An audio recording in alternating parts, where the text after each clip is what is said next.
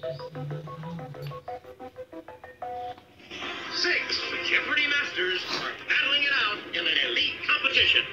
James Holzhauer, Amy Schneider, Matt Amodio, Mattea Roach, Andrew He, Sam Buttrey.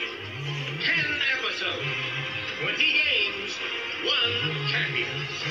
This is Jeopardy Masters. Software developer from San Francisco, California, Andrew He. And a self-described game show villain from Las Vegas, Nevada, James Holzhauer. Thank you, And now, from the floor of the International Consumer Electronics Show, here is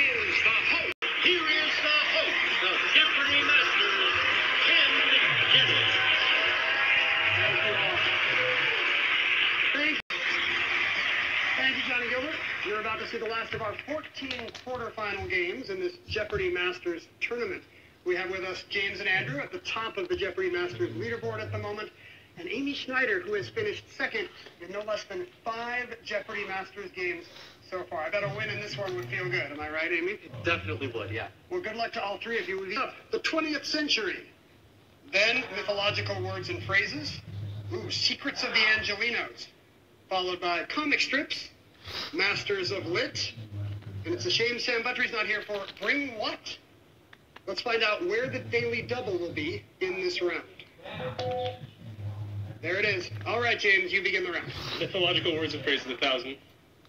One can be between a rock and a hard place, or similarly, between this pair of foes faced by Odysseus. James? Or Charybdis and Scylla. Yes. Phrases eight. The Oracle of Delphi alluded to rocks when she told the treasure seeker to be diligent with this four-word phrase, still her turn. Back to you, James. 20th century, thousand. The answer there is the daily double in the round.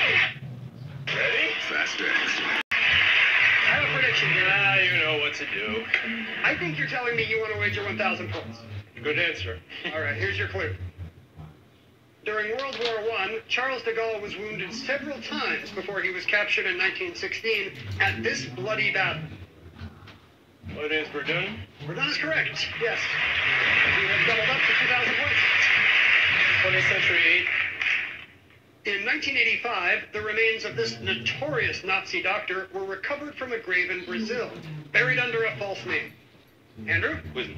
Maker of this fighter that took part in World War II's first shoot down of a German plane by an American one. That's the P-38 Lightning. Andrew? Masters of Lit, a thousand. Suppressed during his life, Mikhail Bulgakov's The Master and This Woman is a comic yet searing satire of Stalinist Russia. James, With Margarita. that's correct. Lit eight. Edgar Lee Masters is best known for this collection of free verse epitaphs from the cemetery of a fictional small town. James? What's the Spoon River Anthology? Good. Lit six. A 1987 bestseller by him says, On Wall Street, Sherman McCoy and a few others had Thousand. Characters in this current strip include an arrogant rat, a humble dim-witted pig, and a duck who guards the pig's front lawn. James? What is Pearls Before Swine? Yes? Comic eight.